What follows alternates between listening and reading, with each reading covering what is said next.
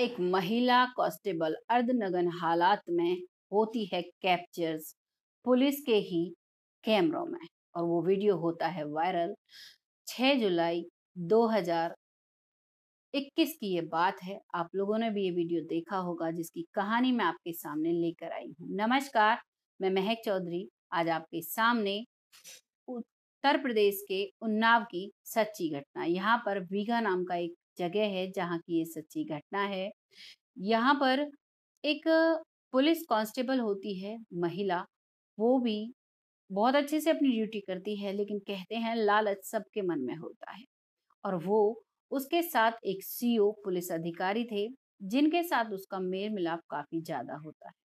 शुरू शुरू में तो बातें ही होती हैं, लेकिन मेल मिलाप इतना बढ़ता है कि अब वो एक दूसरे के गर्लफ्रेंड, बॉयफ्रेंड की तरह रहने लगते हैं।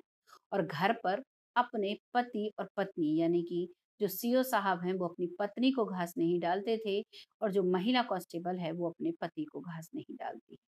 ये सिलसिला लगातार उनका चल रहा है। अब सीओ साहब कहते हैं कि क्यों ना कुछ समय प्राइवेट बिताया जाए, कहीं छुट्टी मनाई जाए, तभी वो महिला कहती है, क्यों नहीं सर? चलिए बताइए कब का प्लान है? दोनों प्लान बनाते हैं और अब जो महिला है वो अपने घर पर कहती है कि मुझे ट्रेनिंग के लिए कहीं पर जाना है, एक नई स्कीम डिपार्टमेंट में आई है, जिसकी मुझे ट्रेनिंग लेनी है, उसके लिए मुझे चार दिन के लिए जाना है। वहाँ पर तुम्हारा फ़ोन नहीं मिलेगा, जब भी टाइम लगेगा, मैं तुम्हें खुद से फ़ोन कर दूँगी। महिला का पति मान जाता है, कहता है, ठीक है, तुम जाओ आराम से अपनी ड्यूटी का काम करो, अपनी ट्रेनिंग लो। और अब जो सीओ साहब हैं, वो अपने घर पर ना जाकर सीधा कानपुर के होटल चले जाते हैं और अपनी पत्नी से बात तक भी नहीं करते हैं और अपने फ़ोन को, दोनों फ़ोनों को स्विच ऑफ़ कर देते हैं। जो फ़ोन उन्हें पुलिस की तरफ़ से मिला हुआ था, पुलिस विभाग की तरफ़ से और जो फ़ोन उन्हें अपने घर का था, दोनों को स्विच ऑफ़ कर लेते हैं और अब चार दिन के लिए वो होटल जो बुक किया था कानपुर का, वहाँ पर दोनों पहुँच जाते हैं। वहाँ पर पहुँचने के बाद अब लगातार एक पति पत्नी की तरह वहाँ पर वो रहते हैं, रंगरलिया मनाते हैं और सारा दिन खाते, पीते, घूमते फिरते हैं।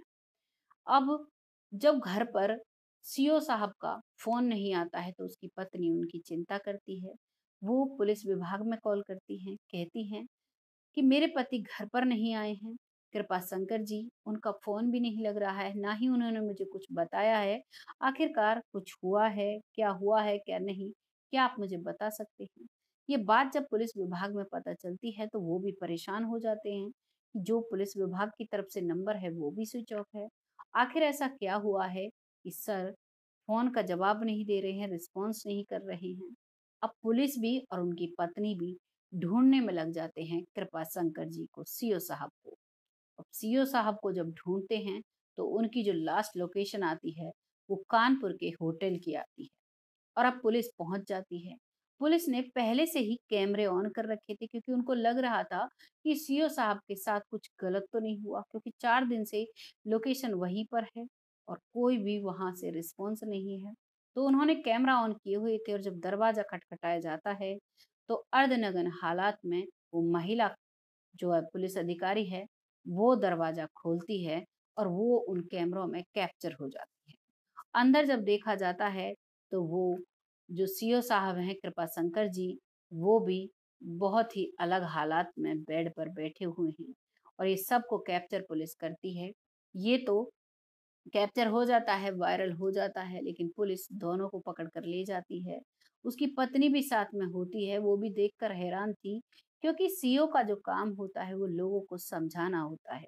लेकिन यहाँ पर तो सीओ साहब ही कुछ ऐसा कर रहे हैं कि उन्हें समझाएगा तो कौन?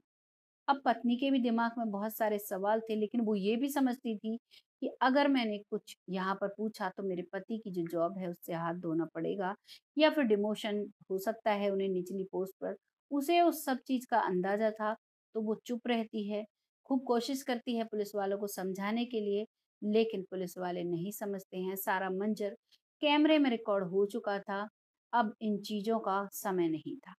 पुलिस विभाग में डिसीज़न लिया जाता है। जो सीओ साहब थे, कृपा शंकर, उनको मामूली सा पुलिस कांस्टेबल बना दिया जाता है और जो वो महिला है, उसे उसके घर भेजा जाता है, उसके पति को बताया जाता है तो वो घर पर चली जाती है। कुछ दिनों के लिए उसे सस्पेंड कर दिया जाता है और अब उसके पति की नज़रों में वो गिर चुकी थी। लेकिन उसके साथ ऐसा वैसा कुछ नहीं किया जाता है। कुछ दिन बाद वो अपनी उस ड्यूटी पर आ जाती है ये सच्ची कहानी हमारे सामने निकल कर आई। आपको कैसा लगा इस कहानी को सुनकर कमेंट सेक्शन में ज़रूर लिखिएगा। क्या उस महिला अधिकारी को ऐसा करना चाहिए था? हमारे हिसाब से मेरे पर्सनल ओपिनियन से नहीं करना चाहिए था, क्योंकि महिलाओं को कंधे से कंधा मिलाने के लिए हमें उन्हें पढ़ाया जाता है और पढ़ाने के बाद उन्हें जॉब दिलवाई जाती है। उन्हें जॉब के लिए टाइम दिया जाता है और फिर उसी पर रहकर वो जब गलत कार्य करती हैं तो जो महिलाएँ अपने परिवार के लिए कुछ अच्छा करना चाहती हैं, उनके साथ भी गलत होता है, उन्हें भी सख्त की नज़रों से देखा जाता है। तो इसीलिए ऐसा मैसेज नहीं देना चाहिए। उन महिलाओं को जो बड़े बड़े पदों पर हैं बड़ी बड़ी अच्छी उन्होंने पोस्ट पाई हुई हैं, कम से कम अपना नहीं तो अपने पद की मर्यादा को तो उन्हें रखना चाहिए। क्योंकि जो भी लड़की जॉब लगती है और आगे मेहनत करती है तो आस पड़ोस के गाँव देहात के लोग उनका उनका एक उदाहरण देते हैं अपनी बच्चियों को। और फिर जब ऐसी महिलाएँ ऐसा उदाहरण सिद्ध करेंगी और ऐसे अफसर ऐसा उदाहरण सिद्ध करेंगे तो फिर क्या ही होगा समाज का। आपको जो भी लगे कमेंट सेक्शन में ज़रूर लिखिएगा। बहुत जल्द फिर आती हूँ ऐसी ही एक सच्ची घटना के साथ। तब तक के लिए जय हिंद, जय भारत।